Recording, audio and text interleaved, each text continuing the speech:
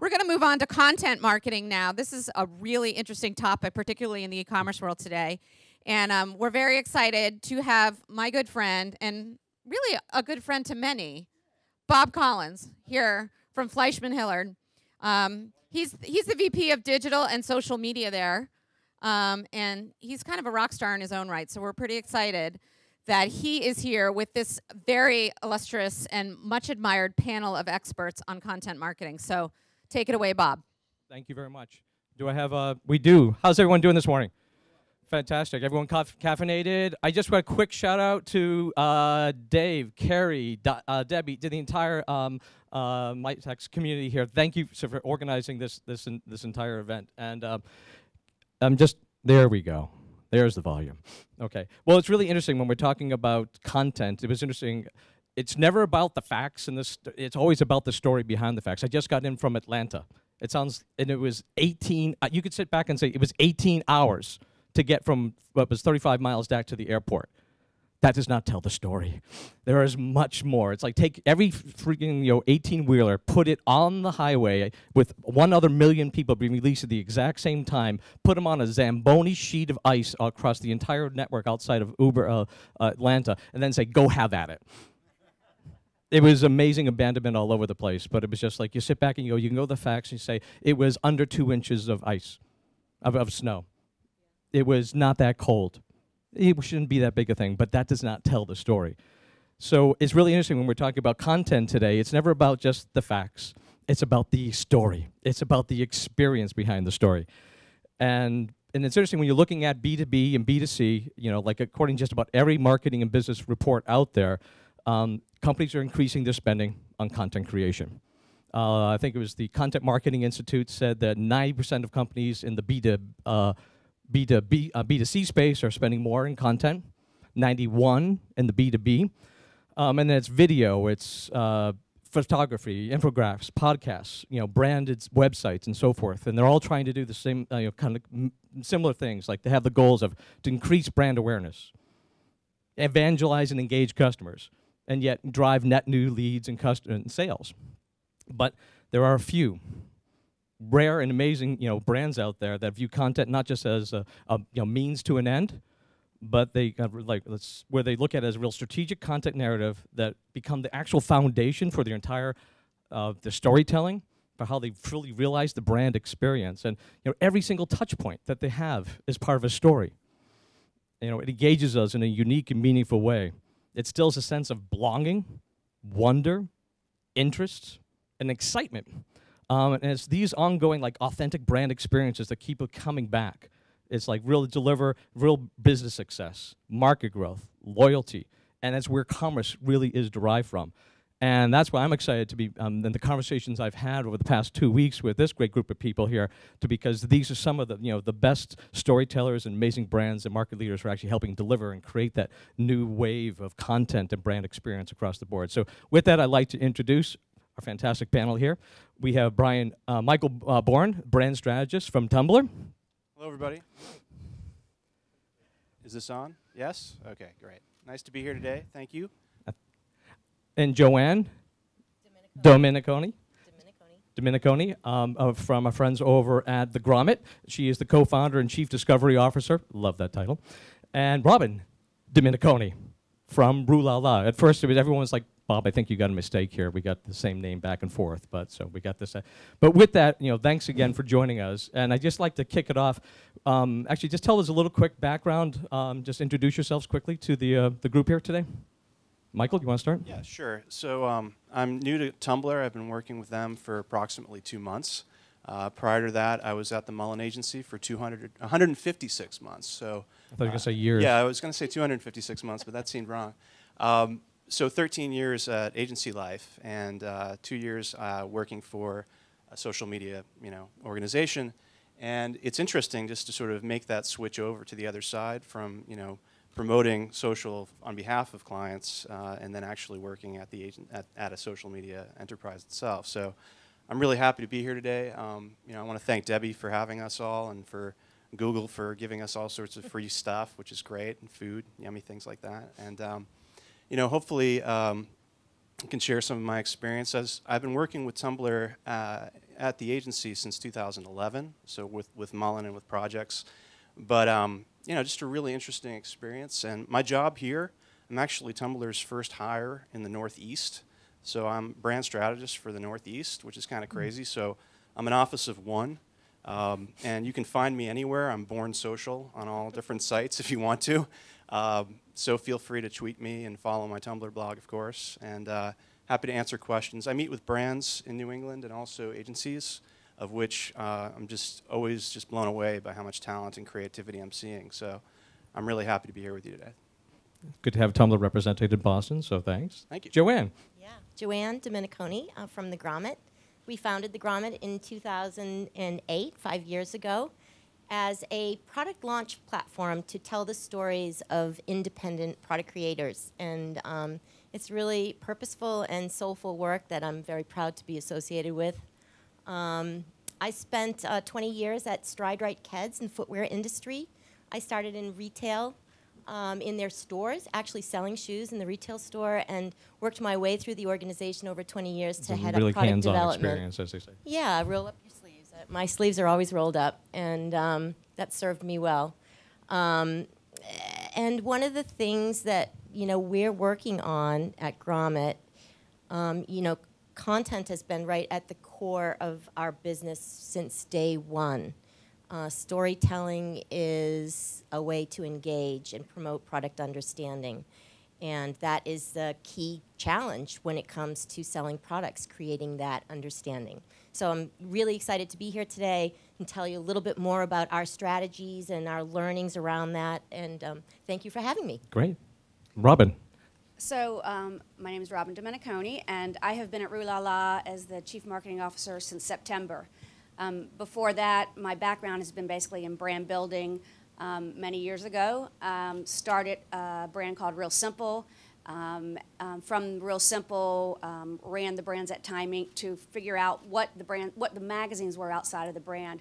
The distribution channel of the magazine was how the magazine industry used to define itself, and sometimes still does. And I always kept saying that it's not the distribution channel; it's the it's the it's the it's the what of the of the brand. So if Real Simple is like how we help uh, people simplify their lives or make it easier, then we could do it in lots of different ways. And it's very important to understand that it's not this is a magazine, and from the magazine we'll do this, but the magazine was just one of the distribution channels.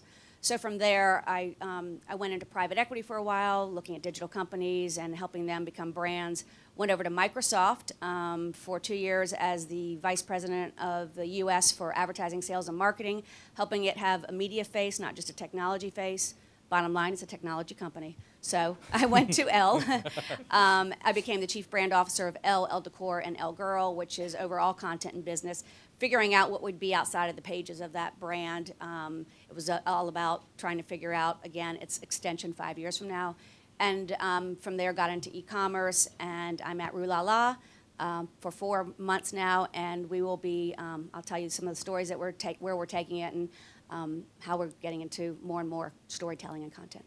Well, it's interesting. You were talking about, you know, it's not, it's a technology company. It's not this type of company. In many ways, content is just not content. It actually needs to be kind of a platform for engagement and telling a story we're not creating you know brand experiences to compete against our competition. We're creating brand experiences to keep to compete against pop culture to a certain degree. So I'd like to kind of open it up. One of the first questions here is you know why are brand experiences and you know storytelling so important and even more so today?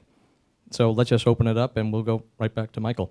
All right. Um, so you came from a cold weather climate and had to travel 15 hours. I just got back from Costa Rica, so I have a wonderful tan, and uh, I'm starting to peel. Um, so we'll move on to Robin. Yeah, no, no, no. I, this, this, is actually relevant. Um, so I was telling Debbie that I was visiting my wife's family down there, and um, we were driving down to a lovely beach, a place called Jaco Beach in Costa Rica. And on the way there, about every other, probably 100 feet, there's a sign that says Taco Shack this way.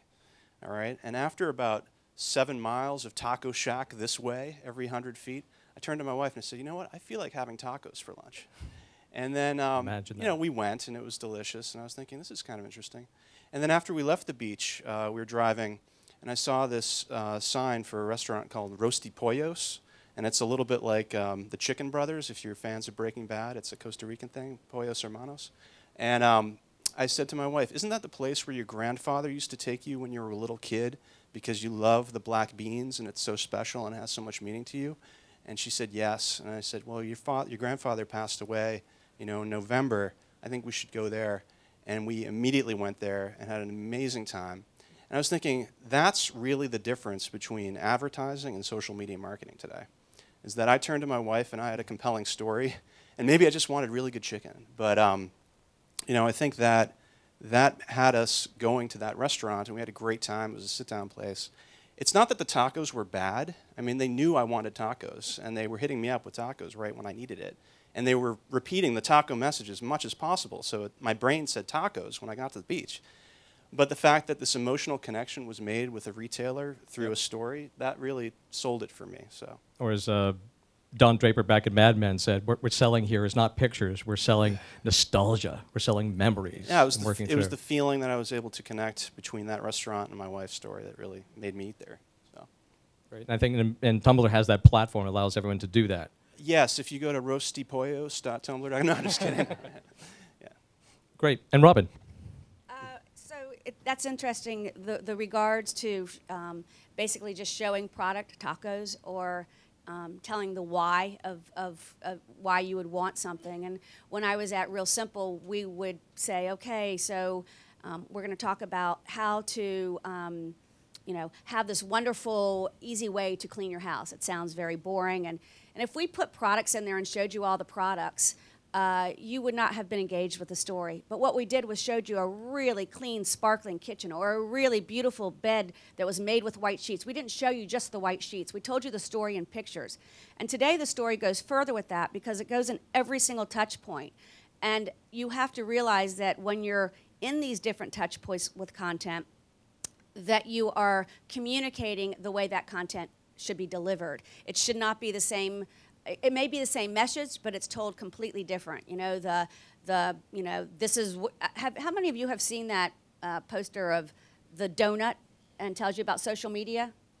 A lot of you have seen that. I like donuts. I eat donuts. This is where I eat donuts. This is you how I- have to understand that. You have to know that. That's the storytelling. That's the contextual part. I think we all understand that we need to make a story to connect with it. I mean, the Bible was our original storytelling. We all connect to storytelling, but you have to make sure also that where you're telling the story and where you're connecting with your uh, member, reader, buyer, whoever it may be, is the is contextual.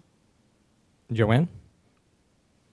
The only thing that I could add to that is, is that today, i- i- digital tools are allowing us to go do more than just make a simple connection. We can make we can make real human connections. At Grommet, we um, you know we uh, have embedded storytelling into the very fiber of our business. Um, and what we've seen is that the product creator becomes the hero. Not, you know, you don't want to make your business the hero. You want to, if you want to have a purposeful um, business and you want to really connect with consumers, contemporary consumers today, you need to have a hero. Um, and if you can make the hero the product, or you can make the hero even better, a human person, uh, the product creator, uh, we're seeing amazing traction and connection. Well, you work with a lot of artisans, and you kind of create a platform for them, and you kind of like oh, tell your story we call about you and why you did that. Yes, Yeah. we, we call them makers because there's people, a lot of people making things today. And um, what we've found is that people support, want to support these makers. They're the little guy. And when you're able to create a platform that tells their stories and connect consumers and maybe even media or other retailers to this story, very powerful things happen. It's about power. And storytelling is it can be very, very powerful. And it's interesting. And then taking consideration today's theme for e-commerce, I'd like to turn it right back over to you. It's like, how does then storytelling, brand experience, and content actually drive commerce? So, uh, looks like you want to say something, Robin. Because it was, it's kind of playing off of. Is my thing on? It's on, right? Yeah. My. Can everyone hear the team up here? Okay. uh, playing off of what you just said, it's um, you're so right. Actually, playing off what you said also with regards to, isn't that where your wife? Isn't that where your dad took you? Um, and one of the things at Rue La La that we try to do is we try to make you know fashion and style. It's a really intimidating thing, And it's, it's not something that we should be told. It's something that we should feel. And I think that we all felt it when we were little kids. We felt like, you know, I, I know I fought with my mother. I wanted to wear my outfit out at three years old, and I felt really great and confident to wear what I wanted. And she said it looked ridiculous, take it off. And we fought for hours. And then you grow up and it's like, well, why aren't you confident? And well, you told me not to wear this. Everyone told me I was wrong. Well, what we want to do with the storytelling and the content is to get you back to that original feeling mm-hmm. of when you walked out of the house in your cape and you went, or, or your Halloween costume way past Halloween and went to the playground and you felt confident. That's what we want you to feel. And so in the storytelling that we're evolving at Rue La La, it's about a place where you can come and you know to feel confident with that, whatever you put, up, put on because personal style is is the best style and where you're getting it we make you feel confident. It's not about telling you it's about having you just become the hero. Um, and michael? Yeah i actually brought some visuals for my presentation today. Um, which the other team yeah. have not so michael I, is at a disadvantage? Totally so you can just totally use one picture I, I cheated. I begged them. I said listen tumblr is so highly visual. Can we show some visual content? Could you show nick the tjx version? Uh, not that one. Show um, it's the TJX or tjmaxx.tumblr.com. Uh, nope. Yes. So, uh, and I'm not just doing this because I know that uh, you know we're all having lunch uh, soon on TJ Maxx, uh, but um, you know this is a great example of a brand that's embracing uh, storytelling to sell its products, and I think that what they have managed to do is to highlight and spotlight a designer every month to talk about their collection and their personal style, and they're called Maxinistas. Uh, I think I'm having a Maxinista moment right here. Um, but you know, just incredibly interesting content that's curated by other people, right? I think the biggest challenge for a lot of brand marketers today, when they're thinking about how can we be creative, is how can we actually showcase our personality effectively, and how can we make it relevant for each and every platform that we're on? And obviously, Tumblr is one of you know hundreds that you could be on. So how do you manage to be uh, appropriate within each and every channel that you're going to be marketing on? So it's not just you know one message for multiple platforms. It's multiple message for multiple platforms from multiple people, um, and it gets uh, challenging. But I really wanted to show this as an example. Another one, just real quickly, isn't uh, in particular a retailer, but if you put up the um, uh, the one that's for the, hung the Hunger Game, capitalcouture.pn, if you have that, yeah. This is um, uh, so Katniss Everdeen, um, uh, Glo Golden Globe winner that she is. Um, you know, and this is a site where if you're on it, it, you would never know what this is. This is actually something that's more from your world um, in terms of real simple and fashion, but it's an entire magazine for a virtual world that doesn't exist, the world of Panem from the Hunger Games. So it's capitalcouture.pn. And all that is on this site are all the different fashions from the movies uh, and also work that's been done by artists and designers, and it's spotlighted on a Tumblr. You wouldn't even know this is a Tumblr except that it's just running on the back end as a Tumblr. But the content tells the story of all the outfits that everyone loves from the, the movies. And it gets you psyched about that. So, you know, people love to see all the crazy fashion from the movies, and they've decided to create this as though it was a real reality. Um, so, you know, you can really play a lot with your presence on social media and be different and be a fantasy and make it real uh, for the reader uh, and the consumer. So I'm just always blown away by the storytelling that can you, happen. You can also partner. I, this is very interesting. What what you see here, we've done this where we partnered with um, Lifetime when they were doing Bonnie and Clyde, and we did a whole how to look the look of Bonnie and Clyde, and we did storytelling behind Bonnie and Clyde. So there's ways also to bring in your partners to do storytelling where it's a great business opportunity. Well, I think it's, it's something that you mentioned here with, with the Bonnie and Clyde, and we, we spoke about briefly the other day, um, is that when you have this brand experience and storytelling and you're tying it into commerce, keep it tied to that brand experience when they are going through that commerce experience. So it's not like all of a sudden, great, I want that product, and then you turn into this nightmare Excel spreadsheet buying system that doesn't work. It needs to kind of tie into that whole yeah, brand. Are you, are you guys, uh, ladies probably more than men, uh, fans of Sephora? because my wife loves Sephora uh, for some reason, always runs to them in the mall. If you, if you can show the glossy. So this this is their. This is your last slide, Michael. No, no yeah, fair. I'm sorry. I, I, just thought it was fun. I actually I, I have the Rue La La Tumblr as well that I could show everybody.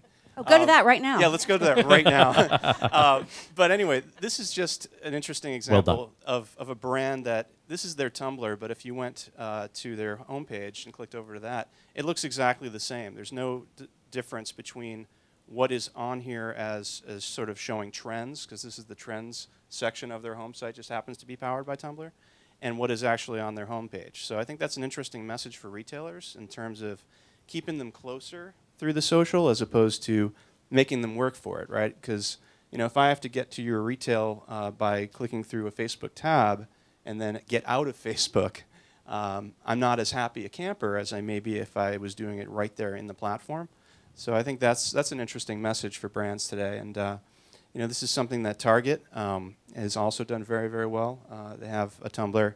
Um, Nick, I won't make you pull that slide up. I'm sorry uh, for having visuals, but um, that's also a good example of a brand that allows you to get straight to the checkout box right from your social sharing, right? So that's isn't that the social media goal that we're all kind of hoping for for clients is that they will immediately see this story, love this story, fall in love with it so much that they want to embrace it and sort of make it their own and, and buy the product.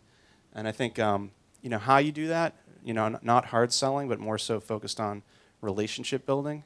That's another thing that I think is very important for brands today. Joanne, do you have anything to add with regards to content and commerce? The only thing that I, I'd like to add is, you know, how you do it. You know, how do you do your storytelling?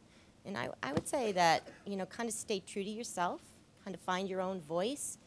And it doesn't need to be expensive or overly produced. If you take a look at our videos, they're engaging and entertaining. Sometimes they're funny, but they're not expensively produced it's almost for us, and this isn't for every brand, but it's more real um, if there's kind of funky little mistakes or people can connect to that um, these days. Now, some brands would require, you know, highly produced um, content, um, but that's not, you know, it's not required.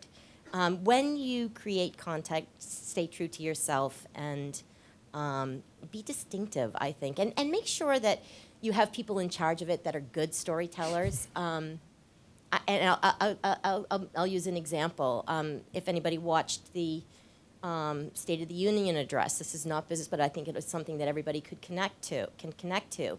You know, President Obama, and I'll say I'm a, fa- I'm a fan. He went through, you know, almost an hour of his talk talking about himself and the things that his administration had accomplished but he connected with people when he told the story of the hero. And the entire place was on their feet, clapping for, for minutes, maybe more than just a few minutes. And he did a good job. He ended really, really strongly, whether you like him or not.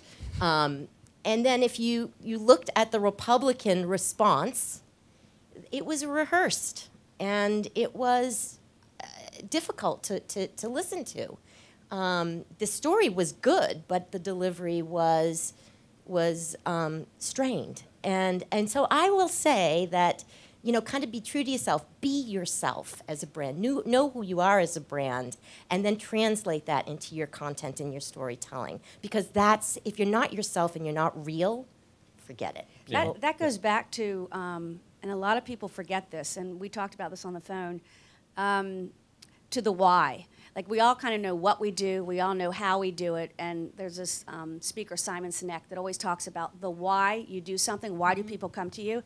And I think the best example of this is the Chipotle. Have you guys seen the Chipotle ads where um, the, scare, the scarecrow? the scarecrow, but also the, the farmers who went yep. through all the agriculture. That's storytelling. Like you, you understand what they stand for. A, a, really easy one to understand is the Dove campaigns, the inner beauty. Mm. Dove is a soap. You know, you think, well, Dove is a product. How am I going to? The why is that you tap into your inner beauty. Once you know what your why is of your brand, the storytelling becomes so much easier. The why is not what you do. We are a, a, flash sale mm. site that offers great brands at discounted prices. How we do it is we go up at 11 o'clock and it's urgency, but that's not our why. You have to figure out what your why is in order to do your storytelling. Our why is to tap into that inner here, that, that, that girl with the with the tutu the, or that I wanted to wear out that my mom told me not to. That confidence of personal style. Figure out what your why is, and the storytelling becomes much easier, like the Dove or the Chipotle. And nine out of ten times, they're very primal. They're very humanistic. Absolutely. They're very cross, you know, cross generational right. mm-hmm. across the board. My, mm-hmm. my why right now is if you go to the flatteringman.com, this is um, something that Old Spice has produced. Any guys here? Oh, Uh, yes, this yeah. is a great why. Great che- brand che- check out theflatteringman.com because you know I think they're much like Red Bull, kind of you know pioneering interesting things. And I saw this, and my immediate action was to send it to five of my guy friends and tag them all on Facebook and say, "Hey, I think you should do this." Um, but basically, I won't give it away because I don't want to ruin the surprise. But you should all try that site. But you know, in terms of you know, should the content be highly produced or should it not be highly produced for visual? Um, there was the Adobe study recently that said something uh, to the effect, and I wrote it down 60, 650% higher engagement rate on Facebook for visual posts rather than just text posts, which I think says a lot. And I know that um, on the Tumblr platform, something like 80%, north of 80% of the posts are all visuals. And also, the number one action of all people who see content on Tumblr is to share it. So it's 95% of the posts that are on Tumblr, and you're talking about 80 million posts a day uh, are to just reshare other visual content. So, you know, when you think of a story, sometimes brands are like, geez, it's so hard to come up with something interesting. Um, and they'll work with agencies to develop that brand, you know, method and come up with calendars. Um, you know, the, the biggest thing for all of us, like the holy grail of any of this, is the real-time thing, right? Trying to figure out how can we be super current right away. Um, I didn't tell Nick to post it, so I'm not going to have him go to it. But there's the Denny's Diner Tumblr. I don't know if you guys are familiar with it, but um, you wouldn't even know it's a Tumblr. It's just Denny's Diner, I think, .com. And uh, at CES, you all, you all know about Michael Bay and his huge implosion and his huge snafu. The monitor does the- not he- work. I'm out of here. He basically lost it because he was trying to read off a teleprompter and the teleprompter didn't work. So he threw a hissy fit and ran off the stage. So the next day, Denny's had a post about this and had copy written on Michael Bay's teleprompter as an animated GIF, and it said, "I can't stand you know you know this anymore. I have to go to Denny's right now. I'm leaving." And so I just thought that was really clever that they put two and two together because they knew everyone was talking about hashtag Michael Bay CES 2014. The only thing I would say with that is be cognizant of actually what is your brand strategy, that it works. You have a Yeah. brand narrative that it plays within that, because always reacting to a meme but it doesn't support you is just you're, you're you're you're spending a lot of time and energy that It's doesn't. not help for everybody, but A great- a- Denny's can do it. A great one was Oreo during the Super Bowl last year when the lights went out. It's all about real time. Or how about the Grammys with Arby's, uh, the hat, the um, uh, Pharrell, yeah, Pharrell Williams, and his hat looked like an Arby's. You jump on that, and you can, you can make it sometimes work for you. But if it doesn't, you will get nailed. Exactly. I mean, nailed.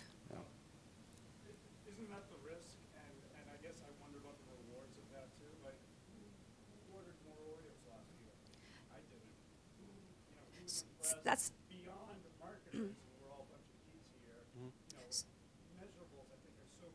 absolutely. especially in real time. Absolutely. I think the one thing that Oreos did is they carried that through the entire year. They did the um, every I think week in the newspaper in the corner column. They had a different Oreo for a pop culture event that was going on, and it was all Yeah. about I like establishing I like the Mars rover going over the, the, Mars. Rover going over, or the Gay Pride Parade. I mean, that was a big stance. So I just think, like in your mind, you might relate to them more than a Nabisco. If you're going to get a chocolate chip cookie, you you, you relate to that. It's all about being a current brand, and it's really hard. Like Coke is happiness. All right. So Coca-Cola started doing these bottles where they split them in half, and they'd offer you could give one bottle or buy a Coke for someone in Afghanistan or whatever. So it it is hard when you're a commodity, but to relate into an emotional real time connection that is not going to nail you because you can get nailed. There was a lot of people doing things on Memorial Day that they should not have been doing. Yeah, but I think it comes down to your point earlier about being more human, right? And trying to connect with people as That's right. individuals as opposed to thinking you're a big, faceless, nameless brand. I think as an individual, we're all sharing interesting current events with our friends on all social networks. So for a brand to get down to that level, to have it be as real time as possible, just makes the brand more human. And it does That- that's a associate, perfect yeah, and way, it does yeah. associate something with the Oreo saying, "I am going to do this with uh, uh, marriage equality and human Right, rights. right. Um, I'm not Chick Fil A who's going to do this. It That's right. showcases who you are as a brand and what you want to be recognized and associated with. And I, think, I don't think Joanne? you look at these touch points, uh, you know, from an ROI standpoint. You know, you're connecting and maybe just putting a smile on somebody's face, but those po- that positive connection will pay off over time. And and you can't, you know, today if you're if you're connecting with people, you can't think of it as like I'm monitoring the social media, I'm monitoring the platforms. You really need to, you, you need as a brand to really be engaging and connecting. And it's not pushing information about your product, it's about making people smile, it's about connecting with them on all different types of subjects and differently on each platform. You know, Yeah, and I think that, that goes very well to the one part we had a great conversation about, and we spoke about it the other day, is making sure we, you can't, we can't be talking about content and commerce without talking about the evolution and pervasiveness of today's mobile culture. Um, people are saying that 60 to 80% of all major buying decisions are starting in a mobile format before they get to a laptop or something of that nature. Um, and a lot of them are actually starting there and ending there, depending upon what's the nature of the, the real time engagement of the product or the good or the service. But so the question I have is how is that evolution pervasiveness? How, how are you as a company adjusting your content and commerce stra- strategy based upon you know, our mobile phones are not low, no more than three feet away from us usually at most times. So let's, Michael. Okay. Um, so yeah, basically one out of every two visitors to Tumblr right now is coming to Tumblr through their mobile device. So that's significant. And um, there's been a 251% increase in engagement on mobile uh, over the past year, I think is what it is. So, you know, it's a, definitely a big place for, for Tumblr for sure. And for any brand that has to, you know, happens to be on social media, definitely. I think you know, I th- when Mark Zuckerberg was asked about Facebook, he said he wished he'd started it back when you know smartphones were as prevalent as they are today. I think it's you know 56% of Americans have smartphones, 96% of them have cell phones. So we're all there. You know, we're all you're probably all hashtagging this right now. Um, so I think it's sort of interesting. I mean, we're we're at Google Google today, and Google, you know, mobilely, um, you know, they want to own maps and and that's that query for where is this? You know, 20% I think of the desktop searches uh, for Google are where is such and such this thing, and I think they own 70% of any sort of where where-based queries. It's pretty ridiculous, and they've uh, actually mapped six million miles of the Earth's roads, uh, which I think is 12 trips there and back to the moon. So you know, why are they doing this? They're doing this because they know that search is going to become extremely local and that it's going to become very relevant to you where you are. So, um, you know, the fact that we're all, you know, looking to, you know, impact purchases at the point of sale out in Yep. actual real places, bricks and mortars, as well as do it online, I think impacts your location as well. So, I think that's what makes really mobile the most interesting is the whole geolocal thing. Joanne, with Grommet, what are you seeing with uh, So mobile and engagement? Yeah. Um, I would say that um, we're behind on mobile. Um, honestly, we're very strong in content and um, behind. It's a big uh, initiative for us in 2014.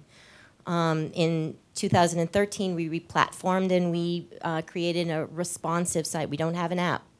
And our question is today, will you know resp- a responsive site, you know, serve us in 2014 and beyond? Um, we're getting engagement, but it's the transaction is difficult. It's more than two clicks, and that's a problem. So Amazing. yeah, I mean, come on, we've got to get it. We've got to get that going. So, um, exciting things to be thinking about. Uh, you listen to the uh, discussions in this room, and you think I'm bringing uh, some important information back to the office about, um, you know, where we need to be. And Robin? So for us, um, our strategy has evolved to actually mobile first. Um, I'd say over the holidays, probably uh, uh, well over 70%, uh, 60%, about 70% were coming to us through mobile, and over 40% of our revenue right now, not just during holiday, but overall, is coming through mobile. And that's a huge, um, huge opportunity. We, we have to catch ourselves all the time because we'll be in the room, you know, what is the site going to look like? What is the sale going to look like? What are we going to do with these? And half the time we design it in the past, we went, wait, that copy's not going to come out on the mobile. And so the experience, our business naturally is built off of urgency. At 11 o'clock, if you're not there to get those, you know, Todd shoes that are going to be up, they'll be sold out. And it's not fair if you're at, you know, you're not at your desk. So for us to make the member experience as good as possible, we're mobile first, and um, everything we do right now starts with mobile, and then it works um, backwards. And um, it is a very, very important platform as we move forward. And you're 100% right with the you cannot have them click, click, click, click, click. They got to see what they like, one click buy it. We're all trying to get to that Amazon. Just uh, that model- emotional model. Im- impulse and just. It, well, that's, we're based off urgency and impulse. yes. Absolutely, great. Um, we have just a few more moments left, and I just want to ask the panel just one quick question, and then kind of just get your thoughts on this quickly, and then two questions out to the audience is: How does social play into your content strategy? It's everything. Done. All right. Now, um, no, I mean, I think this is this is about e-commerce today. That's why we're here, right? Right. So you're really interested in understanding how this stuff works from a, a click to buy perspective. Um, you know, Tumblr, and I'm not just saying this because I work for the company, but you know, of all the different social platforms, this has the highest number of minutes spent on the platform. So it's north of 16 minutes per session visit that people are spending looking at the dashboard on Tumblr, which is kind of ridiculous. And you know, the metric that I think is most important right now to look at for a brand is the amount of engagement that you're having with the consumers that are looking at your content. Because it's not site visits. well, sites visits are very important, but I think we're look, moving toward a place with native advertising where it's really becoming about sort of can we get cost per action to happen. So not just looking at this, but can we go from that native ad and then look at can we click through it and do we then wi- wind up buying? This Monday, they, I'm just going to talk really quickly. There's an Adobe Digital Index Q4 2013 social intelligence report. That's a mouthful. Um, He's got these stats later on. yeah, I wrote, I wrote them down. them, T- Tumblr exhibited the largest increase in year-over-year revenue per visit on referrals to retail sites of 304% growth, which is ridiculous. And um, people are spending a, a dollar ten uh, when they leave Tumblr to go to a retail site, and that's only second to Facebook, where they spend a dollar twenty-two coming from Facebook and going into a retail site.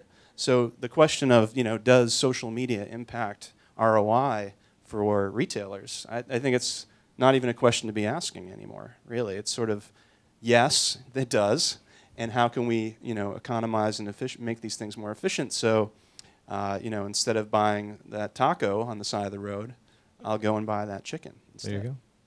Joanne, social, Grommet. Um, So, you know, I think a brand lives, it- a brand permeates all the platforms. Um, an interesting story this week, we got a beautiful letter from a guy that wrote, uh, his name is Ed Moss. He's a, he's a farmer from the Midwest, and he said, The people, the people, your platform, your stories, everything about you inspires me. And guess what?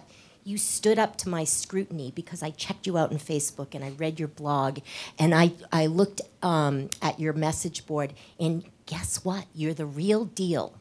Let me tell you something. In a nanosecond, we were back to him, my partner Jules and I, because guess what?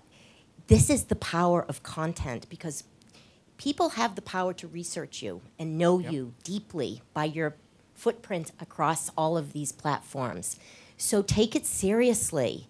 Leave a, a track of who you are, and people will trust you. Trust is the biggest thing in a business. Yeah. Believe me, there's no doubt about it. And it, and uh, these platforms let you show who you are in a very transparent way. Don't pe- ever hide anything. No, when people are making purchases based upon their own values and they're looking at those right. other elements around before they do. That's right. And Robin, So I think most was covered, but I'll give one one tip I once um, a, lo- a while back had heard, and well, way back, and have always taken it forward is um, look at social as if um, you're dating someone, and on the very first date, if you sit there and you talk to the, someone and just talk to them and talk to them, tell them all about you and all about you and all about you, you're not getting a second date. And the second date, if, if you talked about some, if you talked about yourself and then they talked about themselves when you got to know each other, the next thing is, wow, what are your interests? So that we could talk about interests or do interests together. But you have to build that relationship. And if you just start talking socially, this is who we are, this is what we do, and you don't listen or engage and then talk about interests, you'll never have that connection. So make sure you understand the content in social. Fantastic. Do we have time for a quick question before the rest of them come out, or do we want to have? Okay, great. And two quick questions. Anyone from the audience here today? Yes.